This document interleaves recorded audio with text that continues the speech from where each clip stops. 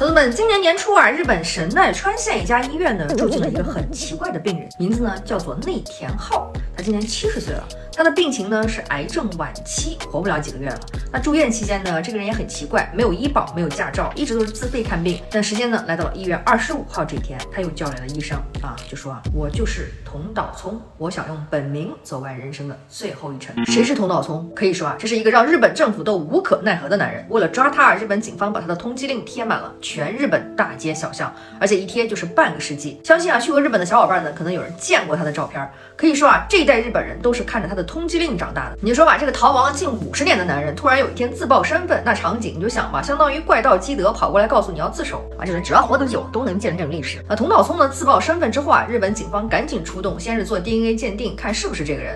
那电视台也是疯了，把医院围了个水泄不通。不过遗憾的是啊，这个人身份确认还没完成啊，在二十九号这一天他就去世了啊。但是呢，两三天之后，DNA 鉴定结果也出来了，结果显示呢，嫌疑人和童岛聪亲戚之间的 DNA 亲属关系一致，就是是佟道聪本人，没跑了。瞅着这。波操作呢，等于临死前又嘲讽了警方一把。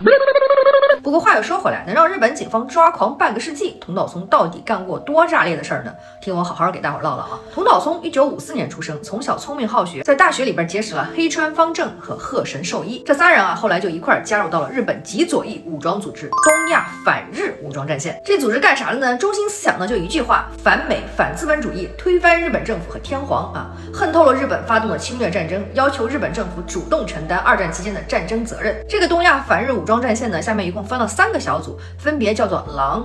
大地之牙和蝎子，那桐岛聪呢就是蝎子小组的骨干，这也是战队里最高的一支队伍。从七十年代开始啊，这三个小组呢就策划并实施了多次恐怖爆炸袭击活动啊，基本上隔三差五就得在日本炸一次。一九七一年十二月十二日，特意选在了南京大屠杀起始日的前一天，炸掉了日本纪念七名甲级战犯的殉国七十碑，还有南京大屠杀罪魁祸首松井石根盖的新亚观音啊。到了一九七四年，他们还打算刺杀天皇来着，结果让人发现了，最后行动只能被迫取消。到后来啊，这帮人又转变思路了，把枪口。对准了资助过日本战争的企业，就从一九七四年八月到一九七五年五月，炸了这么多家公司，堪称啊连环企业爆炸案。最严重的就是一九七四年八月这次，狼小组袭击了东京三菱重工，造成了八人死亡，三百六十七人受伤。那这次爆炸案之后呢，日本警方就专门成立了特别调查队来抓捕东亚抗日武装的成员。而在一九七五年呢，桐岛聪在银座中心炸毁了韩国产业研究所之后，也随之上了通缉名单。也是从这一年开始啊，桐岛聪正式开始了逃亡生涯。谁能想到这一逃就是四十九年？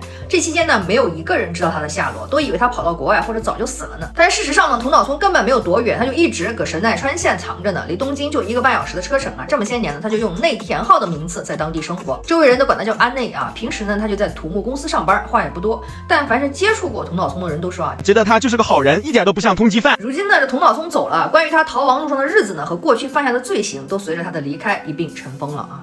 哎，咋说呢？出发点是好的，但是以正义的名义呢，一直让无辜的人受到伤害，嗯，怎么也算不上是英雄主义吧。